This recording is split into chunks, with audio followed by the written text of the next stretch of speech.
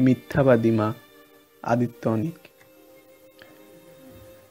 এতটা দিন পেরিয়ে আজও মায়ের জন্য কাঁদি।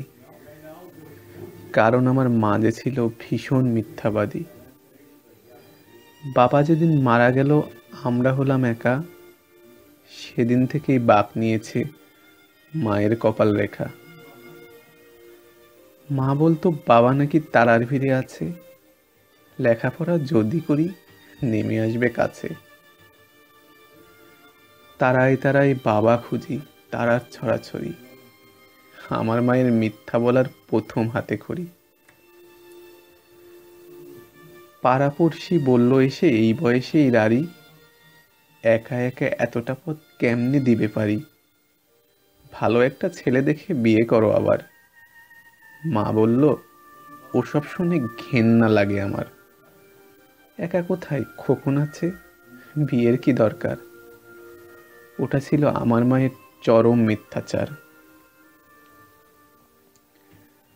রাত্রি জেগে সেলাই মেশিন, চোখের কোণে কালি। নতুন জামাই ঘর ভরে যায় মায়ের জামাই তালি। ঢুলু ঢুলু ঘুমের চোখে শুই ফোটে মার হাতে। আমি বলি সৌত এবার, কি কাজ এত রাতে? মা বলতো, ঘুম আসে না, শুয়ে কি লাভ বল? ওটা ছিল আমার মায়ের মিথ্যা কথার ছল। স্কুল থেকে নিতে আসা গাড়ি ঘোড়ার চাপে আমার জন্য দাঁড়ানো মা করা রোদের তাপে। ঘামে মায়ের দম ফেটে চায় দু চাপ ভরা চিন। ভ্যানিটি ব্যাগ খুলে আমায় দিত আইসক্রিম। মায়ের দিকে বাড়িয়ে ধরে বলতাম, একটু নাও। মলিন হেসে মা বলতো, খাও তো বাবা, খাও। আমার আবার গলা ব্যথা, ঠান্ডা খাওয়া মানা। ওটা ছিল আমার মায়ের নিঠুর মিথ্যাপনা।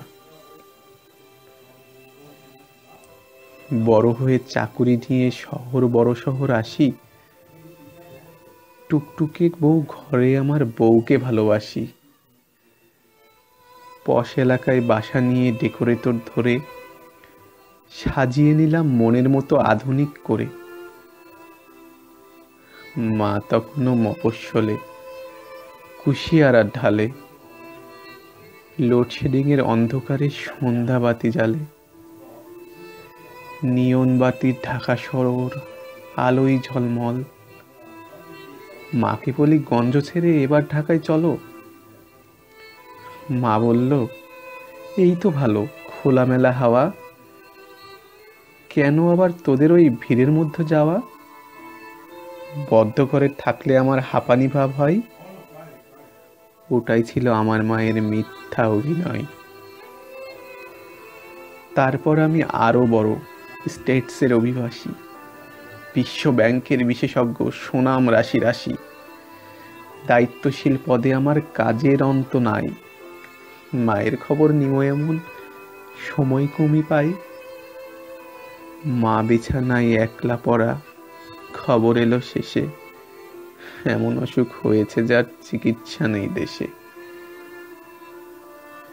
উড়ে গেলাম মায়ের কাছে অনেক দূরের পথ।